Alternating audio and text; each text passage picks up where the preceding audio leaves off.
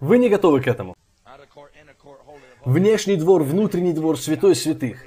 Могу ли я сказать вам, что внешний двор это где убивали жертвенных животных, место, где проливалась кровь жертвенных животных, это внешний двор. И в храме, в скинии, внешний двор был самым большим. Не сердитесь, когда люди не согласны с вами. Поймите, что они просто призваны во внешний двор. И могу ли я сказать вам, что такое внешний двор? Во внешнем дворе все захватывающе. Так и есть. Там дым, там огонь, там вода. Там животных забивают, там песни, там дух захватывает. Но через 30 лет он теряет свою привлекательность. Сколько нужно просидеть во внешнем дворе, прежде чем ты начнешь задаваться вопросом, а что же в святилище? Вы не готовы к этому, не так ли? Могу ли я сказать вам, что когда вы оставляете внешний двор, вас ждет другое место, святилище. И святилище состоит из святого места, из святого святых. В святилище стоит семисвешник. Привет, сила, привет, плоды Духа Святого, свет Духа Святого. Там стоит стол с хлебами предложения. И я даже не буду говорить о хлебах предложения, потому что многие проповедуют о них неправильно. Но на самом деле они имеют отношение к даянию. Но я не буду говорить об этом, разве что скажу, Бог помещает даяние на один уровень с плодами Святого Духа, с жертвенником для благовоний. Вы не можете молиться правильно, не можете поклоняться правильно, если не даете правильно. И стол с хлебами предложения не принадлежит Богу, он принадлежит священнику. Священники ели со стола для хлебов предложения. Это было приношение для священников. Если вы не знаете, как давать, вы не готовы поклоняться, вы не готовы молиться. Вот почему Бог услышал молитвы Корнилия и увидел его милостыни. Ну же, ваши деньги говорят так же, как и ваши молитвы. Но я не буду проповедовать об этом сегодня. В святилище стоит жертвенник для воскурений, который представляет собой ходатайство и поклонение. И там же семисвешник. Мы переживаем силу Святого Духа, когда совершаем ходатайство, чтобы все пришло в согласие с волей Божьей. И это 60-кратное служение. Но есть еще одна завеса. Она ведет во святое святых. И со святым святых связана проблема. Не все могут войти туда. Когда туда поместили ковчег завета, там осталось место, достаточное только для того, чтобы мог втиснуться один человек. Там тесно. Там нет места больше ни для кого. Вы не можете войти туда на основе своего личного спасения и подобных вещей. Вы должны стать плотью от плоти его и костями от его костей. Ну же! Там есть место только для одного человека. И Иисус, наш первосвященник, который совершает ходатайство. И вам нужно быть в нем, если вы хотите войти во святое святых. Поэтому Павел сказал, поэтому Павел, ну же, кто-нибудь, им мы живем, движемся и существуем. Ну же! Павел смог попасть на третье небо, потому что был в нем.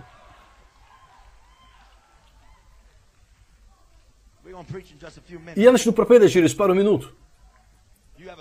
Есть 30, 60 и 100 крат. Их выражение – это Пасха, Пятидесятница, Кущи. Есть первое, второе, третье небо. Внешний двор, внутренний двор, святой святых. Я еще не начал проповедовать, но могу ли я сказать вам, что вас жертвенник для благовония не будет готов, пока вы не возьмете тук и печень животного, возьмете это из внешнего двора, пока кровью животного не будут покроплены роги жертвенника. Нужно принести животное в жертву, внести часть внутрь, через завесу во святилище, возложить это на жертвенник для воскурений, затем сжечь эту часть жертвы там. И я даже не хочу говорить вам, что есть праздник Йом-Кипур, который происходит раз в году. Вы, возможно, никогда такого не слышали, но я все равно буду проповедовать об этом, потому что мне это нравится. И такое вы не купите в книжном магазине, вы можете не знать, но раз в году завеса раскрывалась. Вы могли не знать, что раз в году завеса открывалась для тех, кто был вне. И на одно мгновение святое место и святой святых становились одним. И это было единственное время в году, когда первосвященник приносил воскурение не в одной руке, но в двух. И он шел от жертвенника для воскурения во святое святых. И Бог говорил, Я встречу тебя в облаке. А вы хотите знать, что это за облако, в котором Он встречает нас? Это облако от воскурений в двух руках из святого места. Это не облако с неба, но когда вы входите в полноту Божью, оставив 60 крат, и вступаете на новый уровень, на 100 крат, ваша хвала выходит на новый уровень, а Бог обитает в славословиях своего народа. Он приходит и наполняет нас, наполняет ваши уста, начинает преображать вас в облако славы. Я даже не проповедую вам об этом.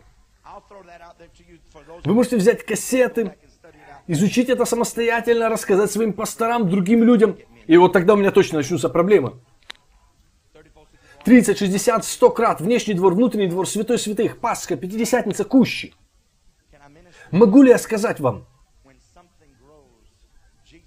Иисус сказал, что когда что-то растет, сперва зелень, потом колос, потом полное зерно в колосе. 30 fold, Эй, 30, 60, 100 крат, сперва зелень, потом колос, а потом полное зерно в колосе. И вы можете есть это, когда оно полное зерно в колосе. 30 fold won't 30 крат не накормит вас, 60 fold 60 won't крат не накормит, но hundred 100 fold крат накормит.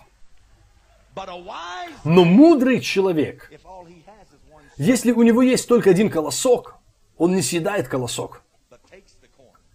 Он берет его и дает ему умереть. Если он посеет зерно, у него будет намного больше зерна. Если у него всего один колосок, он дает ему умереть.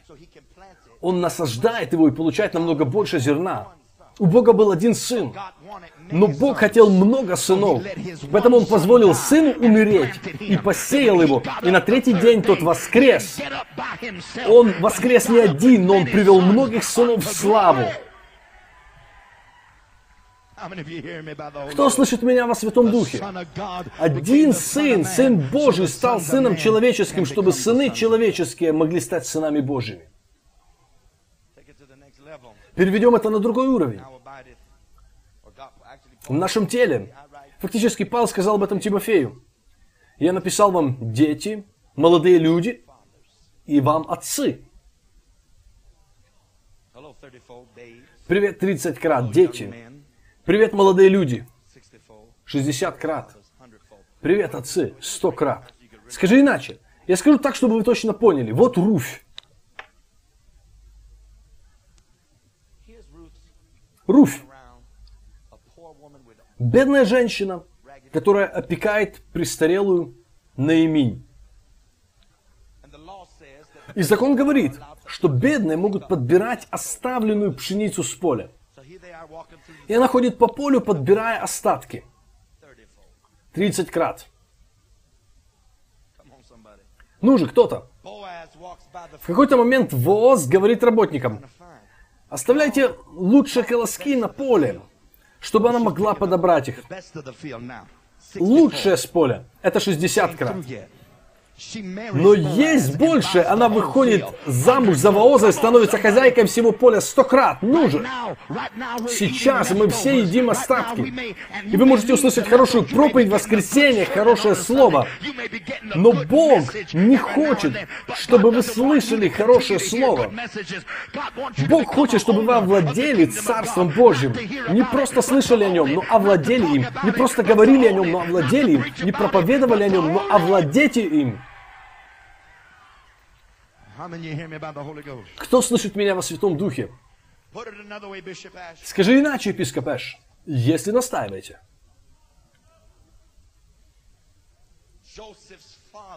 Отец Иосифа дал Иосифу право управлять одиннадцатью братьями. На самом деле, десятью братьями. У него было 10 братьев, Вениамин еще не родился. Потому что Вениамин представляет собой сынов Божьих, Иосиф – прототип Иисуса. Мы не будем сейчас говорить об этом. Он был призван править над десятью братьями. Привет, закон. Первое – это законническое помазание.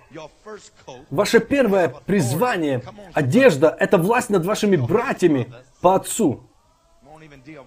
Об этом даже не будем говорить.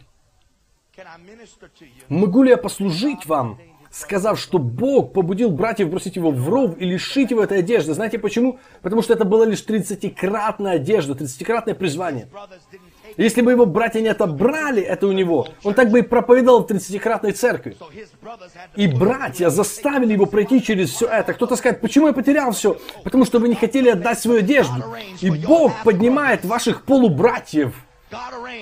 Братьев по отцу. У вас может быть один отец. Но разные жены, разные церкви, разные деноминации. Они все любят Бога Отца, но у них различные... А, я лучше не буду. И Бог определил им отнять вашу первую одежду, потому что вы так и проповедовали бы там.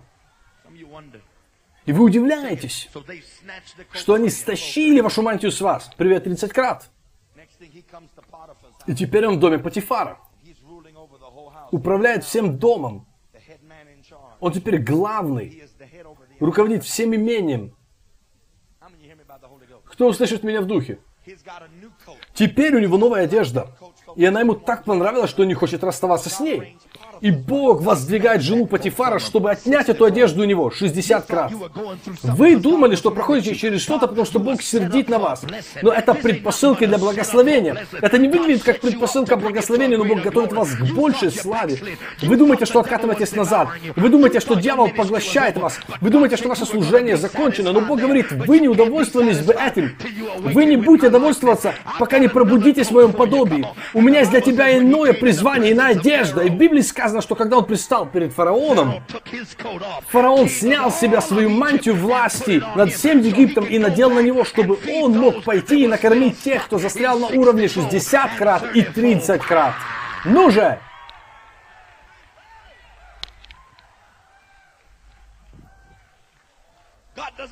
Бог не дает вам 100 крат, чтобы вы гордились этим. Он дает это вам, чтобы вы помогли тем, кто застрял на 30-кратном и 60-кратном уровне. Они могут не верить в нас сейчас. Они могут думать, что вы сумасшедший. mind. Ты выжил из ума. Они могут не верить в твой радикализм и твое рвение. Когда ты говоришь о грядущем тысячелетии и говоришь, я не хочу восхищения, я хочу преображения. Я не просто хочу попасть на небо, я хочу, чтобы небеса попали в меня. Я не боюсь никакого человека, я не боюсь ничего, но то, что. Бог повелел мне совершить, я совершу. Они будут думать, что вы сумасшедший. false. Будут говорить, что вы ошибаетесь. Будут говорить, что вы выжили из ума. А вы скажете, это нормально. Потому что когда придет мой день, я не забуду вас. Я приду туда, где вы застряли, и помогу вам. Я накормлю вас этой манной. Я напитаю вас этим помазанием, этим присутствием. Я не оставлю вас там. Можете смеяться надо мной прямо сейчас.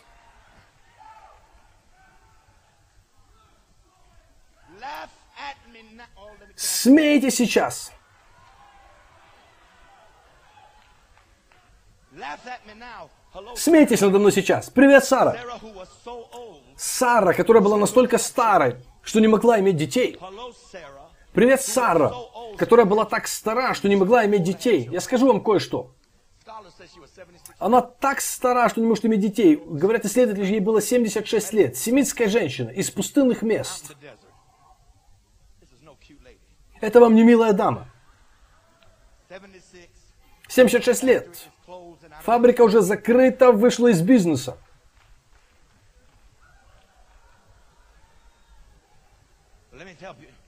И я помогу вам. Так сейчас выглядит церковь. Церковь выглядит, как если бы она уже ничего не могла, слишком старая для пробуждения. Все слишком овертвело. Но что случилось? Когда Сара забеременела Исааком, когда она забеременела, в Библии сказано. Что был царь Авимелех, который посмотрел на нее и сказал, я хочу взять ее в жены. Могу ли я сказать вам, что когда вы беременеете семенем Слова Божьего, вы не просто беременеете, но ваша юность, ваша радость, ваша красота будет восстановлена. И могу ли я сказать вам, что церковь не выглядит впечатляюще сейчас, но как только она забеременеет, она не просто забеременеет, но ее красота, ее радость, ее сила, ее слава будет высвобождена и восстановлена. Хорошо. Перенесем это на следующий уровень. Давид был помазан Самуилом 30 крат, чтобы поборать медведей и львов в пустыне, когда никто не видел его. Ну же, кто-то.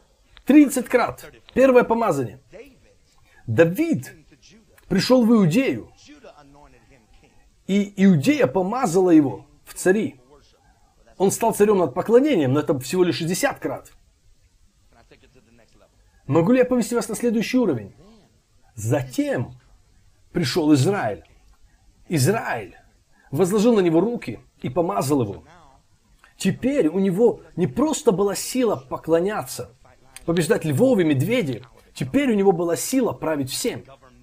Править, восседая на престоле Божьем. Могу ли я вас повести на следующий уровень? Я не знаю, готовы вы к этому. Есть водное крещение, которое вводит вас в Царство Божье. Есть крещение Духом, привет 60 крат. Но есть и крещение огнем.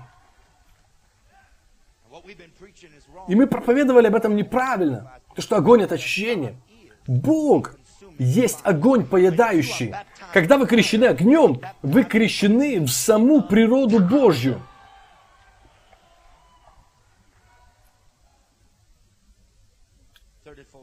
30, 60, 100 крат. Внешний двор, внутренний двор, святой святых, Пасха, Пятидесятница, Кущи. Что вам нужно узнать? Есть большая слава. Есть более высокий уровень, на который Бог хочет поднять нас. Но пока мы довольны просто спасением или тем, что мы исполнены Святым Духом, что получили пару даров помазания, мы упускаем цели и назначение Божье.